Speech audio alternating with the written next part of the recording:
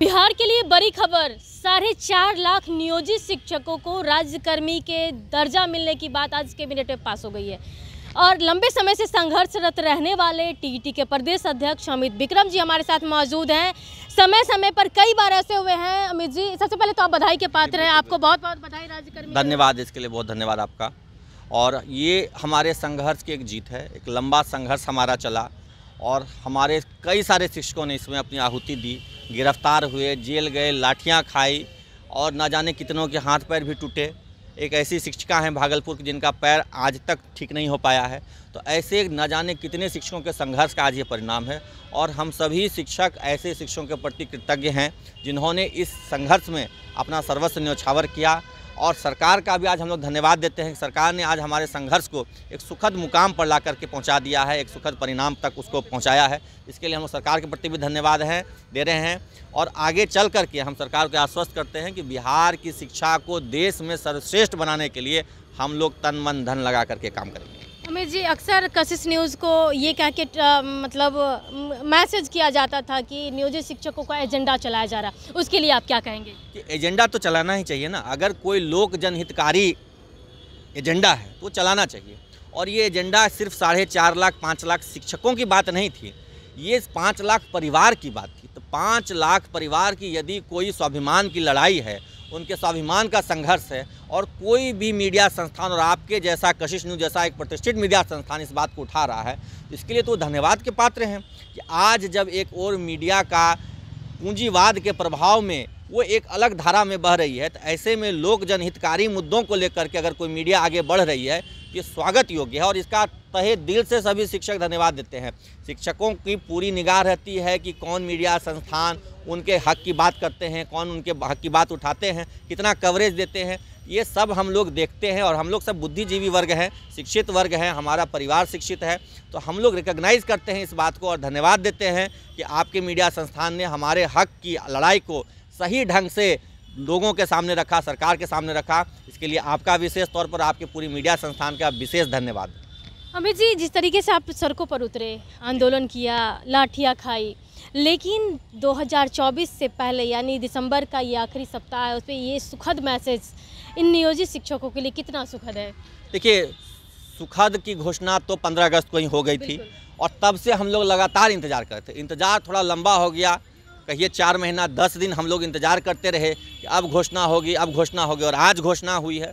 तो उस इंतज़ार का फल हमें मीठा मिला है और अब हम लोग पूरे जोश व जुनून के साथ, क्योंकि हम लोग जानते तो थे कि राज्यकर्मी जब मुख्यमंत्री जी ने घोषणा की है इसी गांधी मैदान से, ऐतिहासिक गांधी मैदान से तो मिलेगा ही मिलेगा।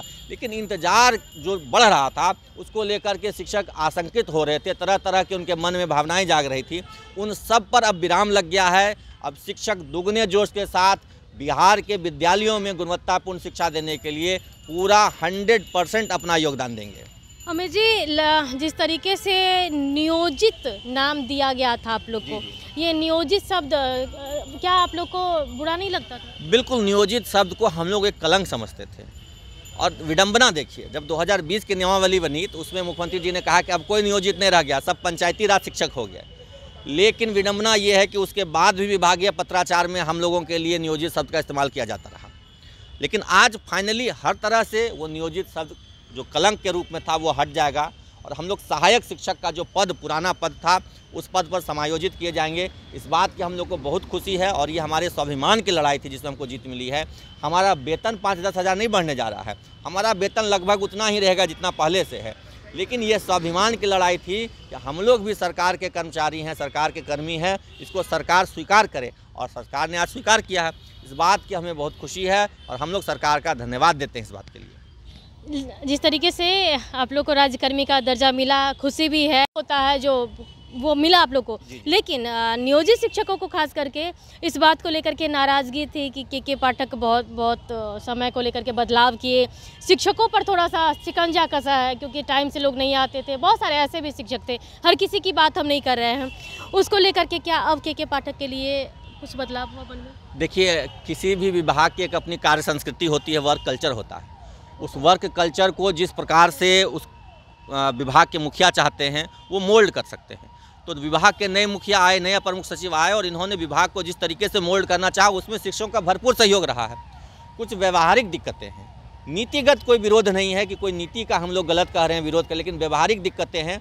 उसको लेकर के हमने माननीय मुख्यमंत्री जी तक अपनी बात पहुंचाई है, मीडिया के माध्यम से या अलग अलग माध्यमों से, राजनेताओं के माध्यम से, और बात वहाँ तक पहुँचती है।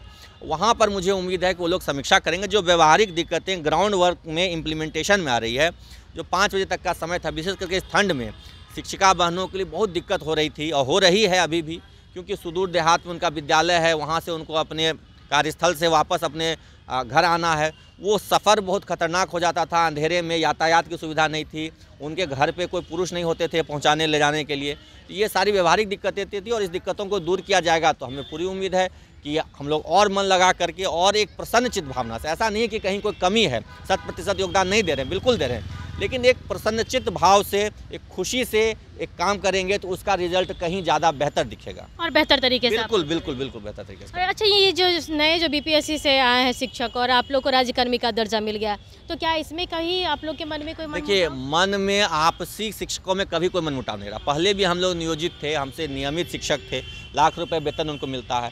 कहीं विद्यालय में इस तरह का दुराव नहीं है, मनमुटाव नहीं है, कोई मतभेद नहीं है। हाँ ये ज़रूर रहता है कि सबको एक समान रखा जाए, एक समान सुविधा मिले, लेकिन वो सरकार की नीतियों की वजह से होता है, लेकिन आपसी कहीं कोई मनमुटाव नहीं, कहीं कोई मतभेद नहीं है। सभी लोग बड़े भाई, छोटे भाई के समान, एक दूसरे को सम्मान देते हैं, प्रेम देते हैं, और सब मिल करके जो मूल उद्देश्य है हमारा विद्यालय जाने का कि शिक्षा हम बच्चों को बेहतर से बेहतर दे पाएँ उसमें हम लोग एक साथ मिल करके एक टीम वर्क की तरह काम करते हैं। अब बिहार बिहार को देश का नंबर वन बनाएँगे शिक्षा बिल्कुल बिहार की शिक्षा व्यवस्था को स्कूली शिक्षा को देश का नंबर वन बनाना है ये हम लोग का विज़न है मिशन है। जिस मिशन में हम लोग राज्यकर्मी में लगे थे अगला मिशन हमारा बिहार की शिक्षा को देश में नंबर वन बनाने का है। तो देखिए कि मिशन भी इन्होंने साफ़ कर दिया है और खुशी साफ़ तौर पर दिखाई दे रही है क्योंकि बरसों से राज्यकर्मी के दर्जा को लेकर के ये लोग आंदोलनरत रहे हैं जिसका आज फलाफल देखने को मिला है। आज कैबिनेट से राज्यकर्मी के दर्जा पर मोहर लग गई है और अब, अब जो है अब अच्छे मन से अब पढ़ाई कर बच्चे को पढ़ाएँगे और जो देश में नंबर वन बनाना है उस मुहिम को लेकर के अब और बेहतर तरीके से काम करें। तो बने रहे कशिश के साथ पटना संगीता सिंह रिपोर्ट।